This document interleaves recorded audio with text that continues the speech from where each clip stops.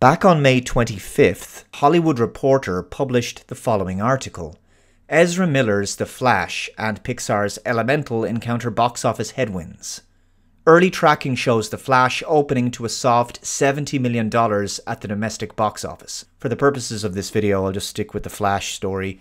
So, this was the initial domestic box office prediction $70 million, which for a big movie with a $200 million budget would have been very low. Typically, these films need close to $100 million or more on their first opening weekend and to make at least twice their production budget in order to cover their marketing budget also. But The Flash has made even less on its opening weekend than was predicted. According to Box Office Mojo, just $55 million domestically. That is really low.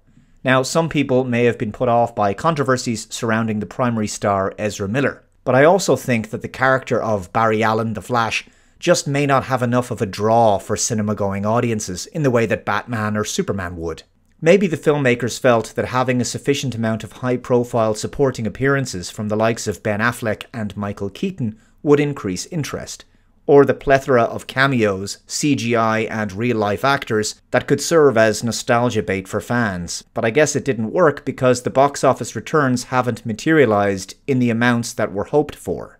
And the film looks like it will be a box office failure. As you know from my review of the film, I was not impressed by The Flash. The story is a bit of a mess, it's not especially original or engaging. There's some nice heartfelt character moments, the opening action scene, specifically the Batman stuff, is really good. It was nice to see Michael Keaton return as Bruce Wayne Batman, but I don't think that's enough to convince people to go and pay and see the film. Also, some of the CGI was really bad in the movie. I think one of the biggest issues is how Warner Brothers have approached the DCEU over the years. I believe that if this film had been scrapped, and instead they made a Justice League 2 in its place, with Henry Cavill as Superman, Ben Affleck as Batman, Gal Gadot as Wonder Woman, Ray Fisher as Cyborg, Jason Momoa as Aquaman, and Ezra Miller as The Flash. This would be a very different conversation right now. I believe there was an audience for the Zack Snyder vision of the DCEU.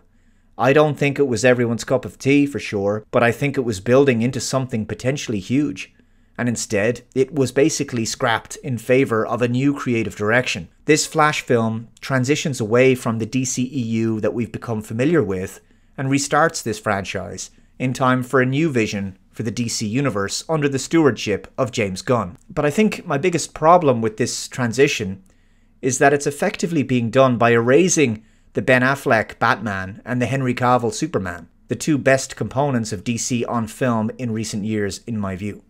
I think this is all potentially another reason that The Flash failed at the box office. Fans want continuity and stability if they are to invest their interest in a franchise. If there's a feeling of uncertainty in the direction of where a series is going, or a sense of a lack of confidence and conviction in the creative decisions being made, fans are just not going to connect with the product. Now, what made the MCU's first three phases work so well was that the films had a clearly defined universe, a consistent tone and cinematic style, and a recognizable brand identity. And of course, they were all moving forward in the same story.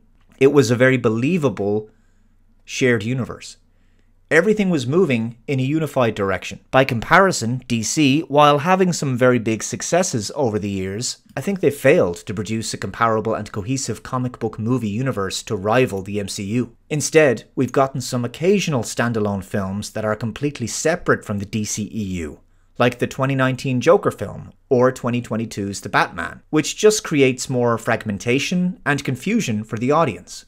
I'm not saying those films weren't successful, but it's still confusing and fragmenting. But I suppose it does continue the current multiverse trend all the same. Regardless, The Flash wasn't expected to make a big box office splash. But its first weekend was a good deal lower than even some of the most modest forecasts had predicted. I'm hoping that this results in a creative course correction for the future of DC on film. Let me know your thoughts in the comments below. Thank you very much for watching. I'll catch you next time. Bye bye. The Dave Cullen Show is made possible by you, my generous subscribers. If you'd like to support my work, head on over to my subscribe star linked below in the description box, and for a pledge of as little as $1 per month, you can help to keep the show going. I'm also doing one to one monthly subscriber chats. Thanks again. Take care.